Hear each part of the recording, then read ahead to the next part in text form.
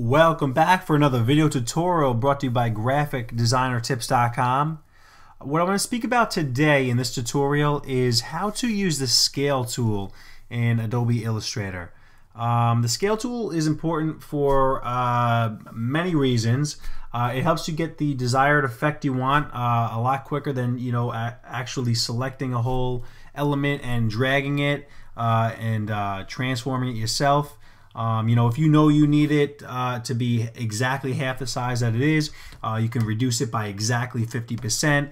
Um, as opposed to if you highlighted this whole logo and then you know just kind of eyed it up. So um, another important thing is uh, there are strokes.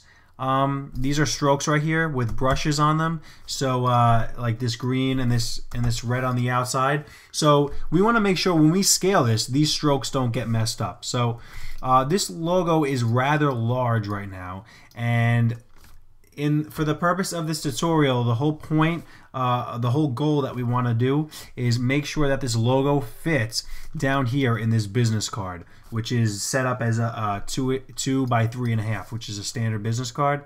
Um, so if you didn't know what the scale tool was, you would just basically think, all right, let's select the logo and let's grab the corner, hold shift, and we're going to scale this down. But if we zoom in, you're going to notice that what happened with the strokes on these. The strokes did not scale down, meaning whatever the stroke is, the value of it is now, that's the value it was before. So if it was 10 points before, now it's still 10 points, but it's 10% of the size maybe. It's, it's, it's a tiny thumbnail um, from where it was. So we're going to undo that by hitting Command Z. All right, we're going to do that right there. And what we're going to do is we're going to come over here to the Scale tool, which is also the letter S on the keyboard. And while we have this whole image selected, we're going to double click the tool over here. So double click that.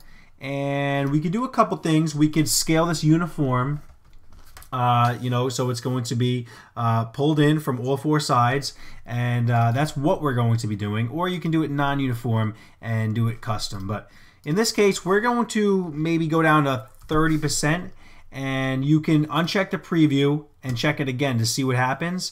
Now you're going to notice that those those strokes are still not correct. The way we're going to fix that is by coming over here and clicking Scale Strokes and Effects. Now, I'm going to uncheck that again and you're going to see what happens. All right, we're going to hit OK. Okay, and there you go. That's how you scale down without ruining any of your strokes and scaling down the right way.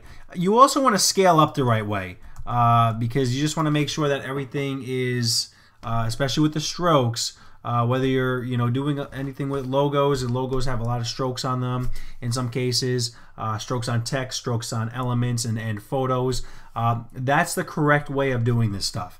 Uh, don't just assume everything that you pull and squeeze is going to uh, turn out like you want it. So uh, that's it, guys. GraphicDesignerTips.com.